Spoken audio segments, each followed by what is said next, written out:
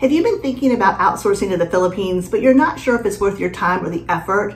For us, it was a game changer. We started outsourcing to the Philippines over a decade ago.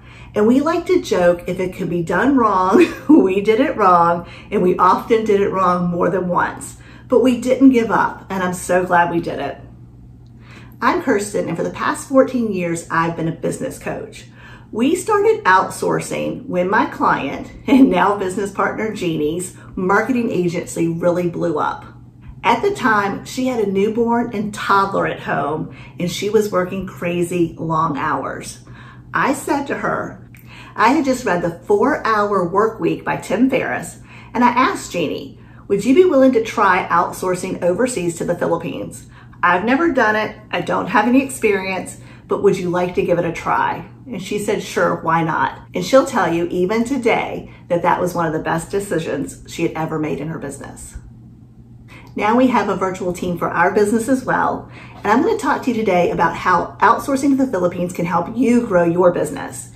This channel is dedicated to helping you with your marketing and your outsourcing. If you haven't already, subscribe to our channel and ring the bell to get notified each time we post a new video. I feel like the number one reason to start outsourcing in your business is because it frees up your time. Let's face it, when you started a business, it was because you had a passion and you truly wanted to help people. But then you realize you have to wear all these other hats. You're doing the bookkeeping, you're doing the marketing, you're writing up the sales contract, you're servicing the clients. All those things are important. But then your days are getting longer, you're getting more frustrated, and let's face it, you didn't start a business to work 24 hours a day, seven days a week. You started a business to have financial and time freedom. So outsourcing really is the first step to buying back your time, which allows you to focus on the things that you love doing in your business, working with your clients, creating new products or services, finally rolling out that course you've been thinking about, whatever it is. Some of our clients talk about how when they first started outsourcing, it gave them the time to think again. When your business gets really busy, sometimes you actually lose the time to actually think about your business and you lose the creativity around your business. So not only is buying back your time by outsourcing going to let you do what you love doing, it's also going to allow you to think more like an entrepreneur, think bigger and build your business bigger. The second reason I love outsourcing and how it can help you grow your business is the fact that it allows you to buy specialty skills. So for example, you can hire someone who is an incredible bookkeeper, or you can hire someone who is an amazing video editor, or you can hire a community outreach person, or you can hire a salesperson to make outbound sales calls. The reality is when you start to outsource, you can often hire people that have skills that you don't have. So for example, if I had to edit this video, I would not be on YouTube. Simple as that. I wouldn't enjoy learning to edit. I wouldn't be good at editing. And so I would just give up. But by hiring someone who is an incredible video editor, has great graphic design skills, and loves what they do, it keeps me doing what I love doing, which is helping people like you, working with our clients, pairing our clients with marketing virtual assistants and making it a win-win.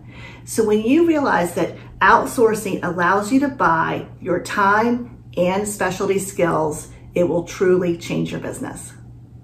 The third way that outsourcing to the Philippines can really help you grow your business is believe it or not, when you start to build a team, your confidence in your business goes up.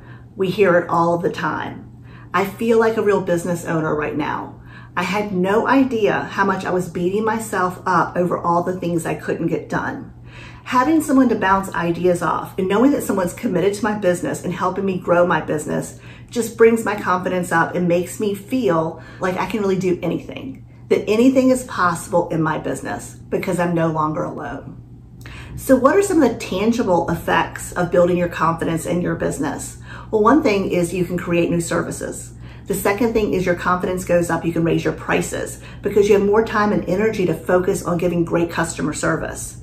So the reality is having that support and building your confidence allows you to do several different things that can help you grow your revenue stream and grow your business. Before I get to the fourth reason why you should outsource to the Philippines, I would love to hear from you. What is your reason for watching this video? What are you thinking about outsourcing in your business? The fourth point for outsourcing to the Philippines is the fact that the cost of living is 80% less there than it is here in the US, which means you can hire specialty talent, someone who's skilled at doing things that you don't want to do or can't do, for a fraction of the cost of what you would pay here. And for a lot of business owners, whether you're a local business or an online business, you don't often have huge profit margins when you're first really getting your business off the ground. So if you can acquire amazing talent at 80% less than what you would pay here, it can allow you to bring on a team member long before you could otherwise. The other amazing thing about hiring someone at the fraction of the cost as you would for a US person is it does wonderful things to your profit margin. So let's think about it. It's not just about our revenue, it's about our profit margin. And in this economy, so many people are trying to cut cost. You know, we're worried about possibly inflation. So we need to really look at how can we bring in as much money as possible, but also how can we cut our cost and spend every penny wisely to grow our business. And I truly believe that outsourcing to the Philippines is the way to do that. If the person you're thinking about hiring is a marketing virtual assistant, someone who can help you with video editing, social media marketing, emailing, blogging, I'd love to have a conversation with you, or at least have you check out the Marketing VA Advantage. You can find it at themarketingvaadvantage.com where you can learn more about what a marketing virtual assistant can do for you. Thanks for being here.